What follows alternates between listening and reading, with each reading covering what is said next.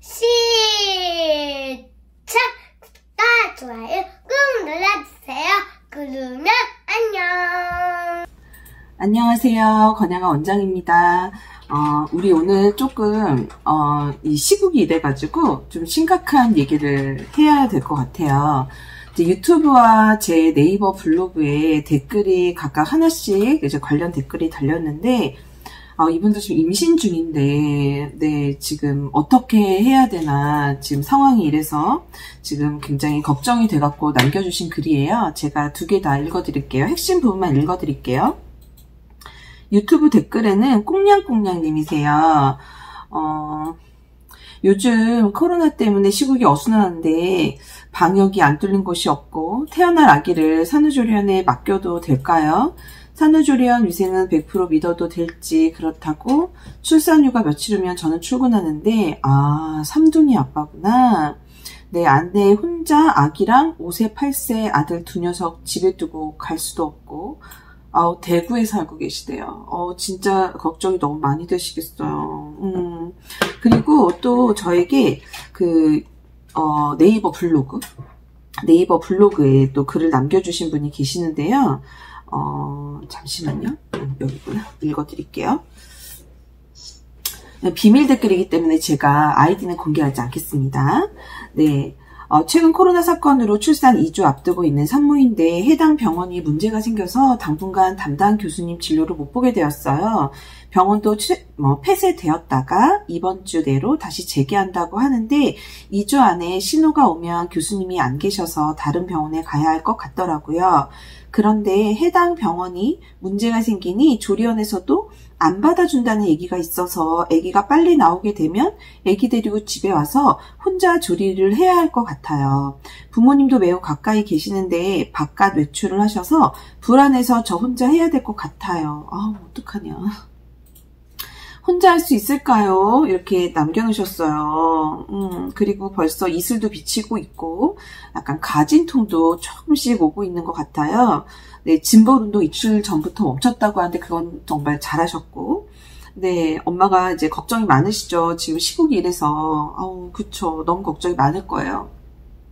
지금 임신하신 분들, 이제 막 출산하신 분들, 다들 너무 걱정이 많으시죠. 갑자기 이렇게 너무 이제 전염병이 확산되다 보니까 엄마들이 지금 이제 대중교통을 타고 오시는 산후 관리사분도 어, 이거 괜찮은 건가 걱정이 되고 또 산후조리원에 들어가는 것도 너무 걱정이 되실 거예요.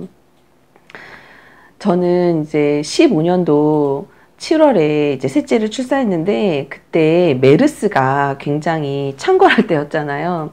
근데 이제 메르스의 전파력은 그렇게 전염력은 그렇게 세지 않아 가지고 다행히 이제 우리나라에서 잘 마무리가 됐었는데 그래서 제가 기억해요. 어, 오늘 병원을 갔다 왔는데 갑자기 병원에서 전화가 온 거예요. 어, 저희 병원이 폐쇄되게 됐다. 지금 메르스 환자가 응급실을 거쳐갔기 때문에 지금 그 응급실에 있던 이제 선생님들도 격리 조치됐고 어 지금 어 산모님은 다른 병원으로 이제 가셔야 된다 그래서 제가 물었어요. 어느 병원으로 가요? 그랬더니 아 그건 스스로 스스로 알아보시라고 얼마나 황당했는지 제가 스스로요? 아니면 어디에다 뭐 가, 보내주셔야지 했더니 아마 받아주는 곳이 2주간은 없을 거예요. 그래가지고 제가 진짜 황당했어요. 나 지금 이제 막달인데 막달인데 거기다가 이제 셋째는 보통 한 1, 2주 일찍 나오거든요. 첫째는 보통 예정일에 나와요.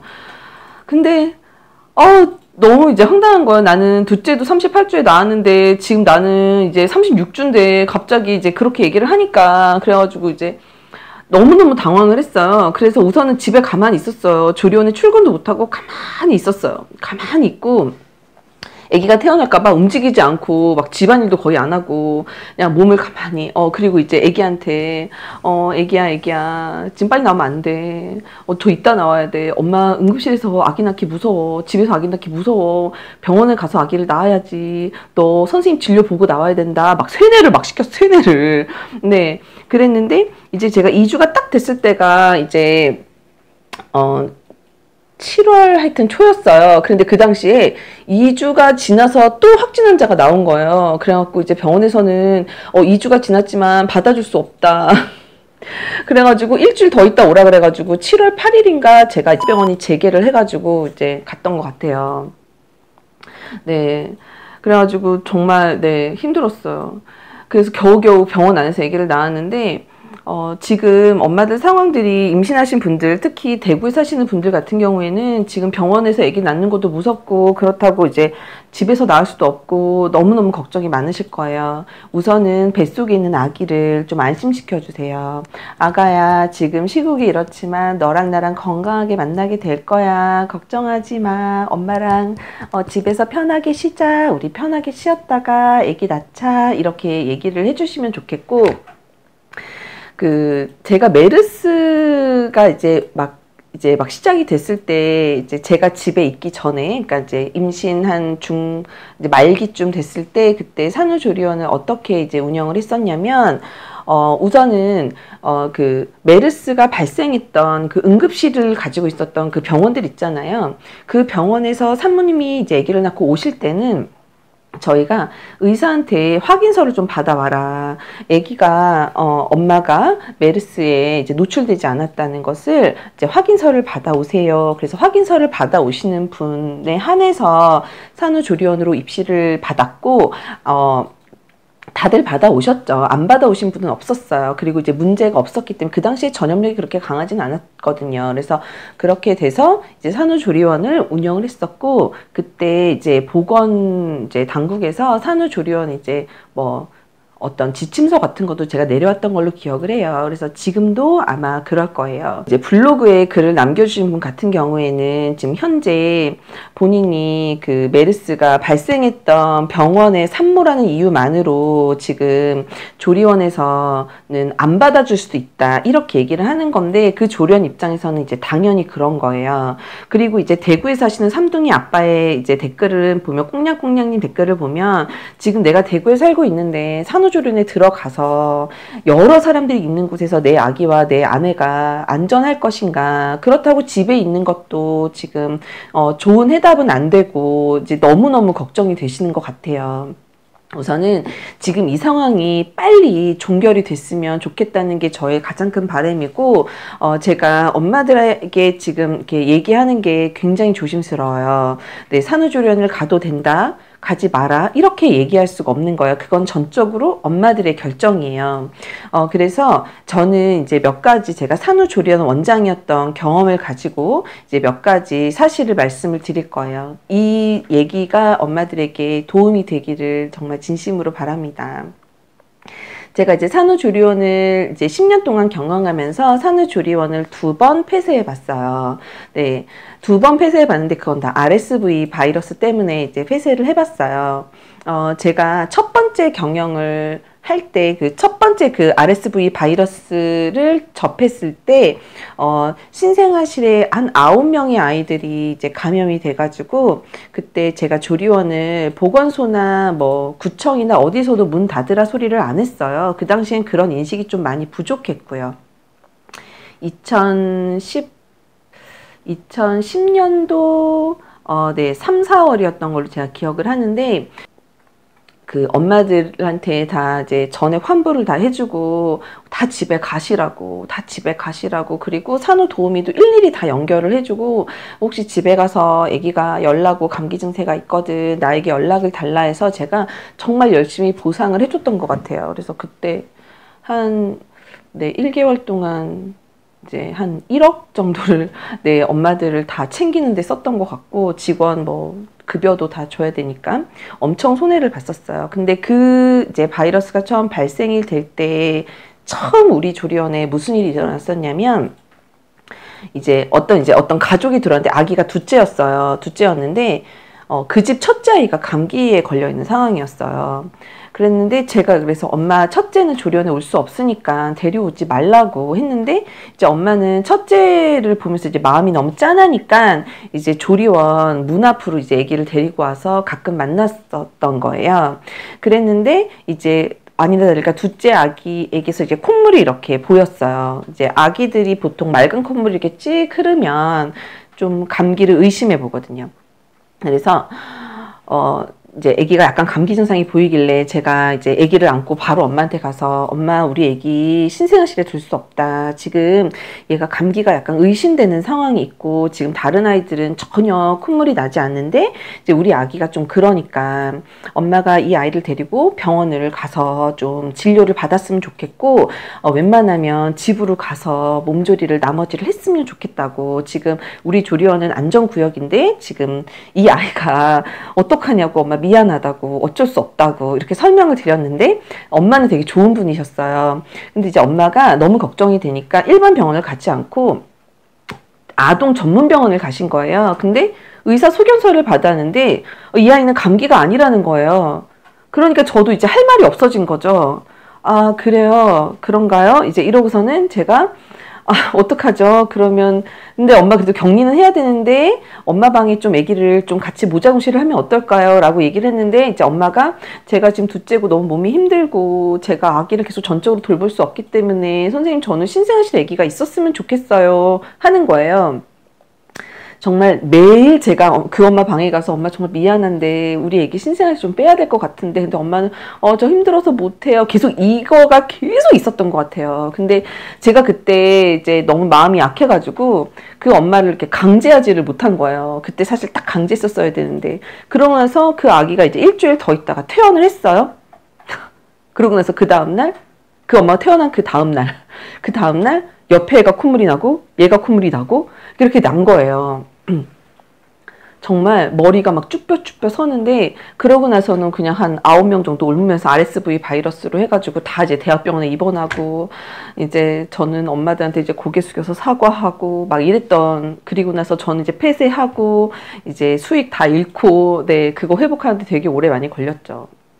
두 번째도 RSV 바이러스 때문이었는데 그 그것도 역시 이제 처음에 그 엄마한테 이제 보통은 사실 매년 그런 바이러스나 장염 바이러스는 다중 이용 시설이기 때문에 산후조리원이 언제나 발생할 수 있고 첫 번째 딱 발생한 아이를 네 엄마를 잘 설득해서 집에 빨리 보내는 게 사실 원장의 역할이에요. 집에 빨리 보내는 게그 산후조리원 원장님의 능력이에요. 그래서 제가 이제 매년 그렇게 잘 처리를 해오고 이제 신생아실 직원들도 탁탁탁 손발 맞춰서 이제 해오다가 이제 가끔 이제 합의가 안 되는 엄마들이 있어요. 그러면 이제 그게 며칠이 걸리면 바로 옆에 한테 옮고 그랬거든요.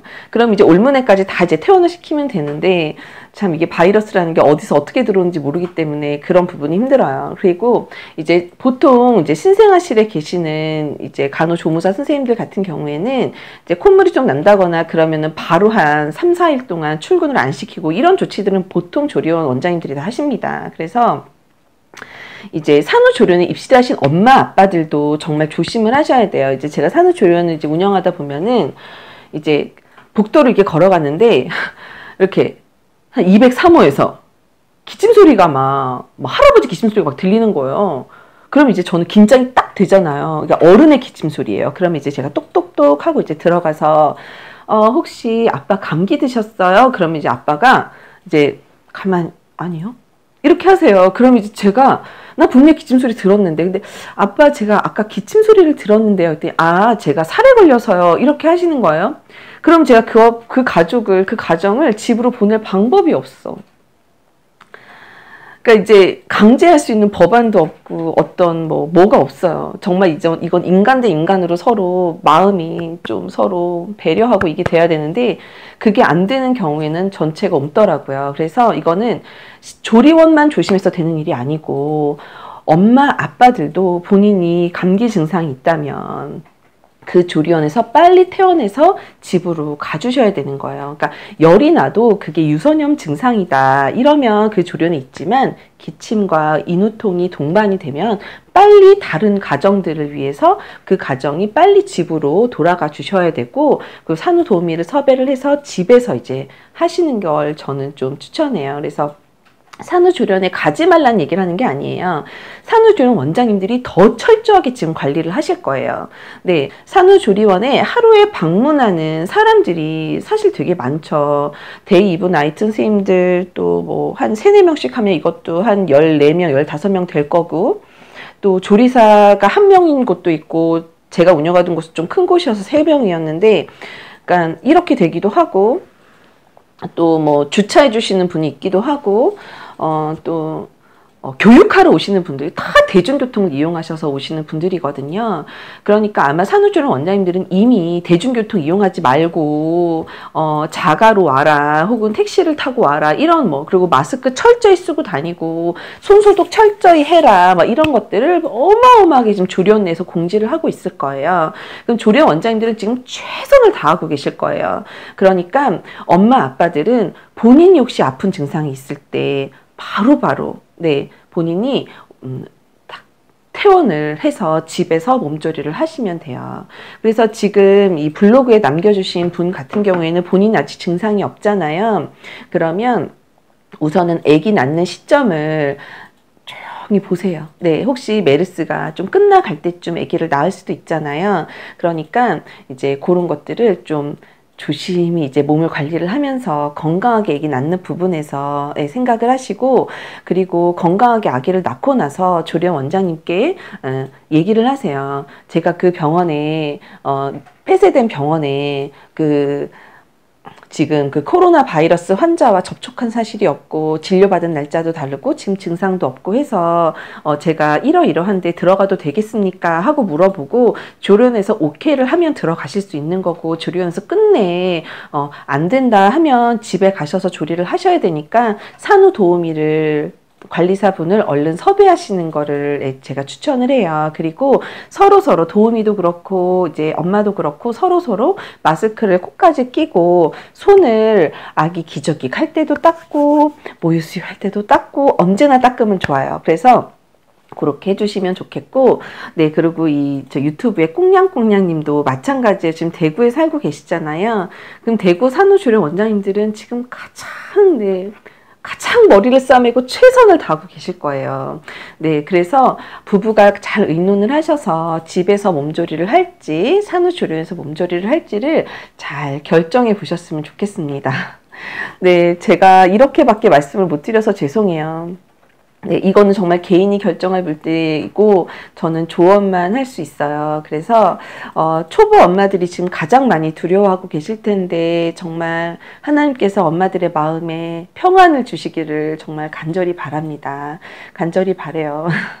엄마들 힘내세요. 지금 우리가 아기를 낳기 전인 엄마들도 그렇고 낳은 엄마들도 지금 너무너무 어려운 상황이고 지금 저도 지금 저희 동네에서 확진자가 어제 나왔어요. 그래서 제가 지금 코칭을 더 이제 코칭을 지금 잠깐 쉰다고 안 했는데 치고 갑자기 이렇게 돼갖고 저도 좀 당황했는데 지금 코칭을 더 약간 뒤로 미룰 생각이에요. 왜냐하면 제가 이렇게 돌아다니면서 또 바이러스의 매개체가 되면 안 되잖아요. 혹시 모르잖아요. 네, 그래서 저희 지금 새 아이가 다 집에만 있어요. 저희 동네는 학원 다 휴원.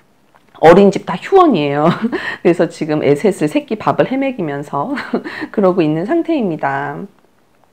네, 아빠들 특히 집에 오시면 바로 화장실로 가셔서 싹 샤워하시고 집에서 두 부부가 아기를 키우는 부부는 다 마스크를 좀 해주세요. 혹시 모르잖아요. 그러니까 그런 것들 좀 조심해 주시면서 이 네, 어려운 상황을 우리 잘 극복해 봤으면 좋겠어요. 아셨죠? 엄마 아빠가 가장 건강하셔야 우리 애기도 건강한 거예요. 하셨죠? 어, 답변을 이거 이거 찍는데 왜 이렇게 마음이 힘든지 모르겠어요. 네. 우리 조리원 원장님들 고생하실 것도 제가 너무 마음이 아프고 어, 또 신생아실에서 우리 선생님들 또 얼마나 손소독을 계속하면서 이, 이 손등이 다 얼마나 틀까 얼마나 이 알코올 때문에 이 손이 다 틀까 계속 손을 씻어야 되니까 얼마나 힘들까 막 이런 생각도 들고 또 우리 엄마들은 엄마들대로 안타깝고요. 음, 너무 다 안타깝습니다. 네 엄마들 네 그래도 마음에 갑옷을 딱 입고 이 상황을 잘 견뎌내 보세요. 네 힘내셨으면 좋겠어요. 하나님의 사랑을 전해드립니다. 화이팅!